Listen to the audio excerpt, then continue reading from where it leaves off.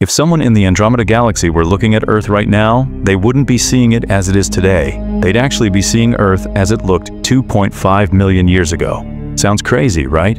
But here's why. In space, light is the only thing that lets us see anything. And even though light is super fast, it's not instant. It takes time to travel. Now Andromeda is the closest big galaxy to us, but it's still about 2.5 million light-years away. That means the light leaving Earth today won't reach Andromeda for another 2.5 million years.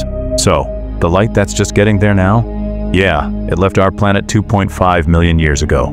That's the image someone in Andromeda would be seeing, not today's Earth, but a version from way, way back when early humans were just starting to appear.